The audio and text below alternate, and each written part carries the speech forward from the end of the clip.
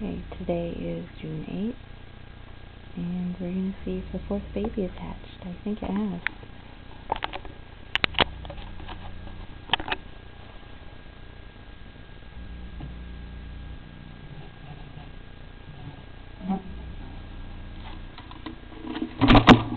Jeez, hi.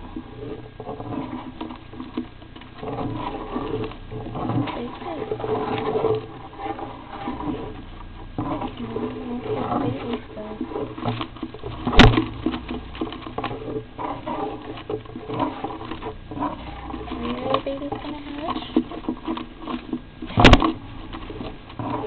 okay. I'm done.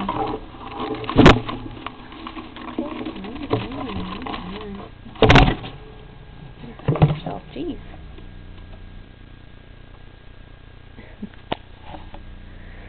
No, no fourth baby. I'll check again tomorrow. Okay?